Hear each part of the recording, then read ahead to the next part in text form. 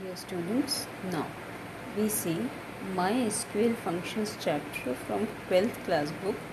Okay, now the new book which is available in the market, that book you are supposed to purchase or you are supposed to download, and we will see some of the functions which are not which were not in MySQL. You see functions chapter of class 11th. So additional functions I'll be teaching. Now concat function page 306 307 you will be getting this function. So this functions your question is display ename and job as concatenated output.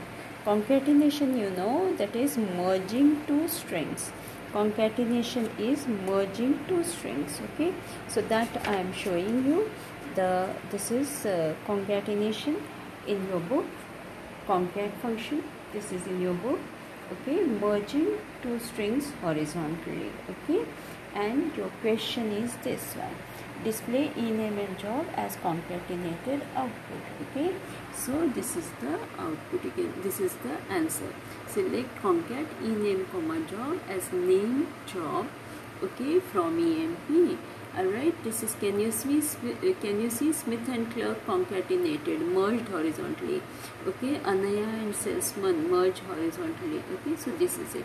Now you can see here that this output is not that much understandable. Alright I have written here MySQL single row functions which were not taught in class 11 this comment I have given okay in in that is class 11 MySQL functions chapter okay? So this uh, comment I have given.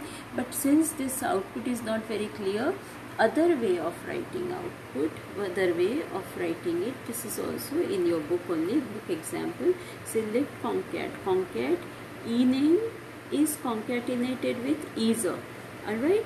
And then both ename is a job again concatenate this is called double concatenation okay concatenated with you see job so how it appears smith is a clerk Anya is a salesman. Alright, following it. So this is your output now. Are you getting it? Smith is a clerk. Anaya is a you see that is salesman. Alright, so this is concatenation function. Alright, then we come to the next that is ltrim and rtrim functions. Okay, ltrim and rtrim functions.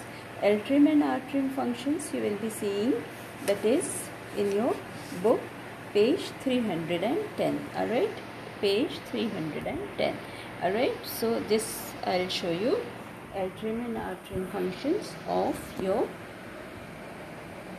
page all right you can see here ltrim this is this takes one only string as argument. Ltrim means trimming the spaces or leading spaces from left hand side. Trimming the leading spaces or spaces from left hand side. Your question is this. Display length of string before and after trimming from left side. Okay? So what what will be trimmed spaces okay? Removing blank, blank spaces from left hand side okay? So i'll show it in the that is uh, computer system. Till then you just see the question okay? Now this one you see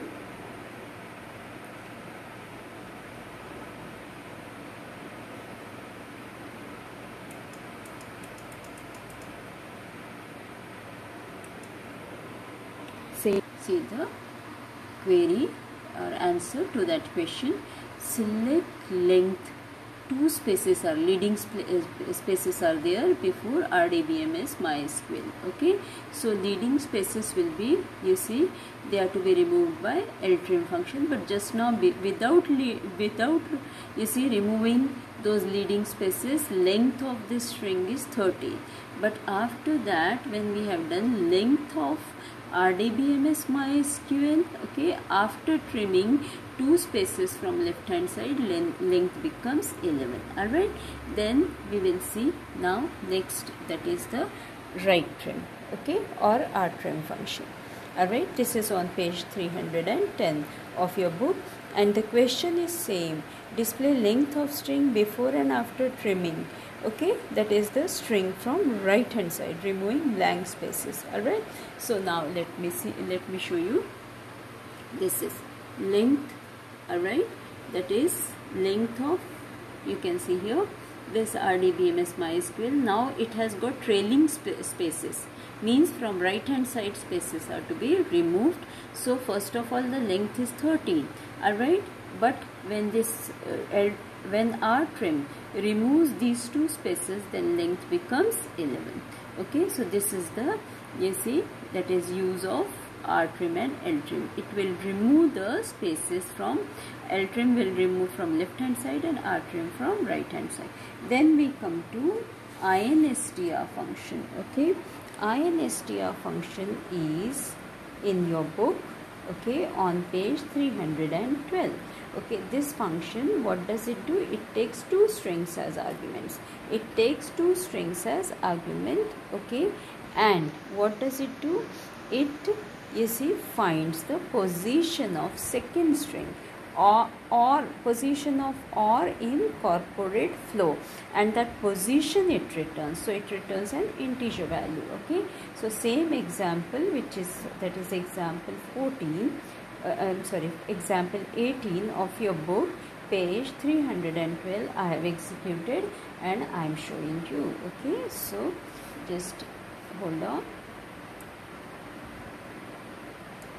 You see here this alright you can see here.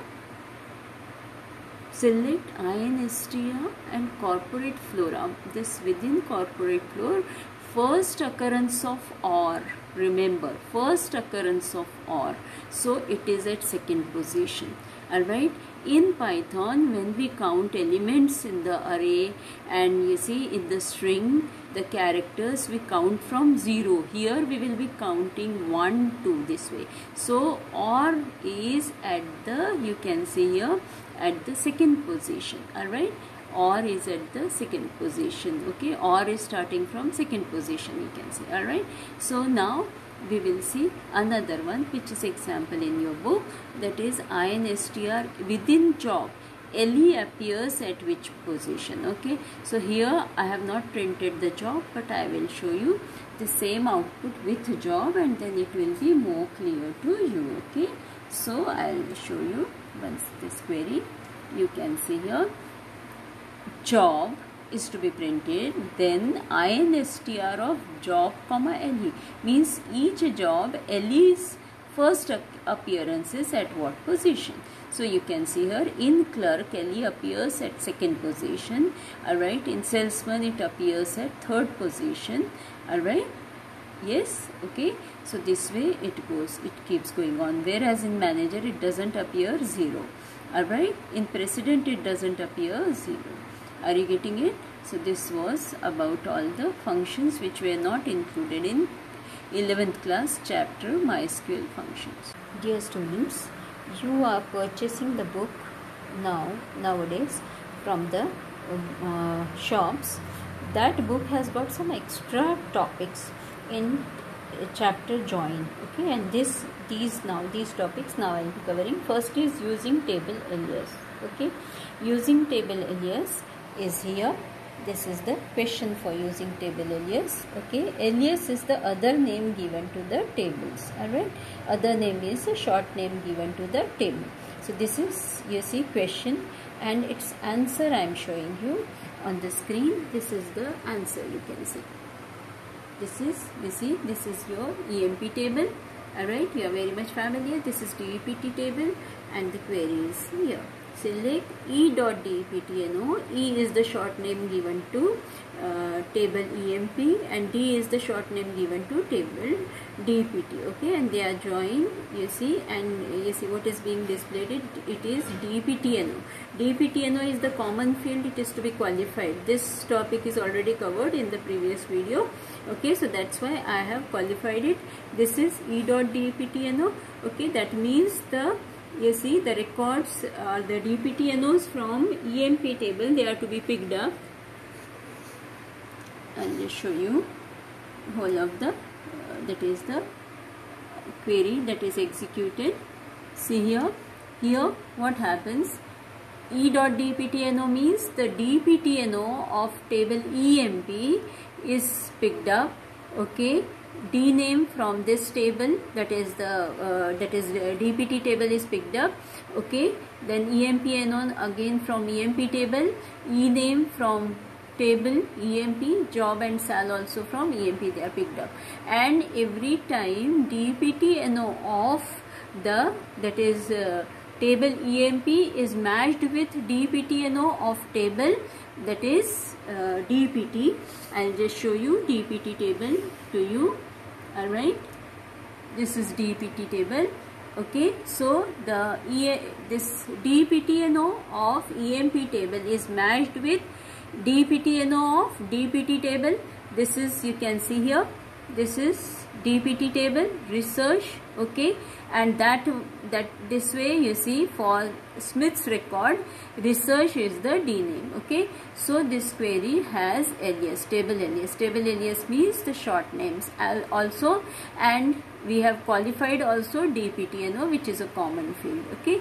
So this is all about yours table alias. Now we come to the next that is non-equijoin non-equijoin for non-equijoin we will go to page number 370 alright and 371 so let us go to 371 page. Now non-equijoin you have got example 6 on page 371 I am showing you example 6 of page 371 you can see here. Alright what is the question? Display employee details for analyst okay in the following format. Alright so I am showing you this. Now let us see here. This query executed. I will show you the tables also. Alright on my screen. So you can see here. These are all the tables. You can see here. This is EMP table and this is salary grade. This is new table. You have not yet used this table salary grade. And you can see here there is no common field. Okay? There you there was common field dptno in dpt and emp tables. But here this one has you see no common field in the table that is emp and salary grade so we cannot perform equijoin but we will be using using non-equijoin. Non-equijoin query I am just showing you. Uh, please hold on. Non-equijoin query is this. Okay. So see here. You can see same query which is in your book select ename job sal these three are from table emp and grade is from table you can see here this table salary grade. Okay? So this that is why we need both the tables. From emp comma salary grade you can see here.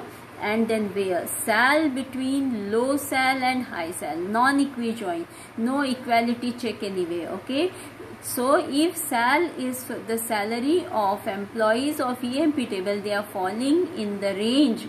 That is 7000 to 12000 you can see here okay? Then grade will be 1 okay? Then 12001 to 15000 grade will be 2 this way okay? So you can see here for analyst only. Analyst their salaries are how many? 30000 30000 falls in the range you can see here. That is grade number 4 alright that's why grade 4 is printed here. So this is non-equijoin. Alright non-equijoin. Now we come to the next. That is I'll just uh,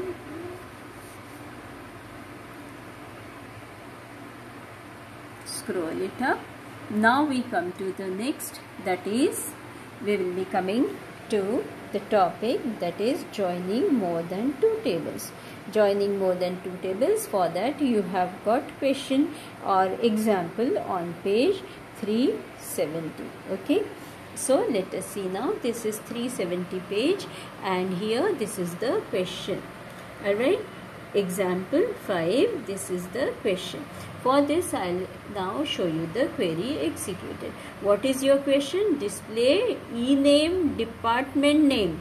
Job sal grade means e name comes from emp table you see then department name comes from dpt table. Job and sal come from again emp table and grade from salary grade means three tables are to be joined. Okay so three tables i'll show you. First of all that is you just check here.